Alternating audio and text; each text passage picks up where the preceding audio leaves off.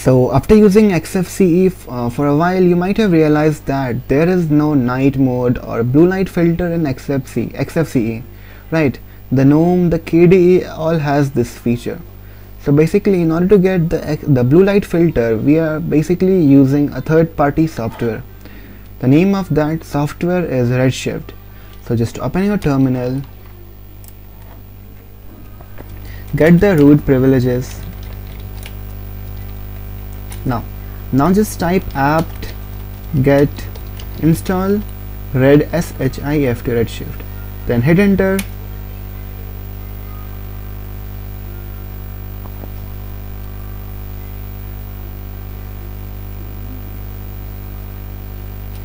Okay just now press just now type exit after that type red shift and minus capital O here you need to type the temperature.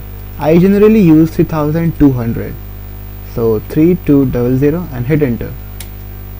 So I got the night mode. I got the blue light filter but I guess my screen recorder doesn't record that.